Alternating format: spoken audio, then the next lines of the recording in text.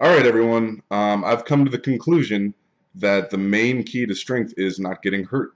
Because obviously, if you're training right and taking the right supplements and eating right, you're probably getting stronger unless you're getting hurt.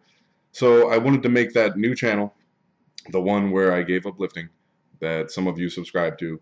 Thank you for subscribing to my channel, guys. Um, that new channel is going to be about injury prevention and prehab and stretching and mobility and all that good kind of stuff that keeps you from getting hurt so you can actually keep getting stronger. Swear to God, for you people who don't know, that really is what keeps people from world records. Like, that's what slows people down. That's why the records are where they are. Not because people can't get stronger than them, simply because they get hurt while they're trying.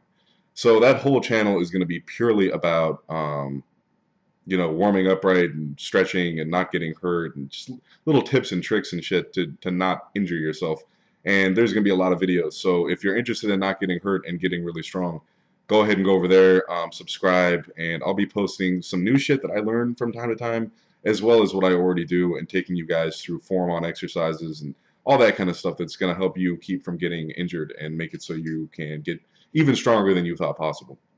So I thought this would mutually benefit us. So because I, I have to learn how to do all this shit as well. I'm um, I do some stuff to not get hurt but I, I want to become like an expert at it because to lift the way I want to lift, I have to be very good at not getting hurt. And because I have so many uh, clients that I work with, I need to be able to keep them um, injury free as well. So I'm going to be making these videos for you guys as well, all of you clients of mine. Um, so um, click the link in the video, it'll take you to the other channel and subscribe.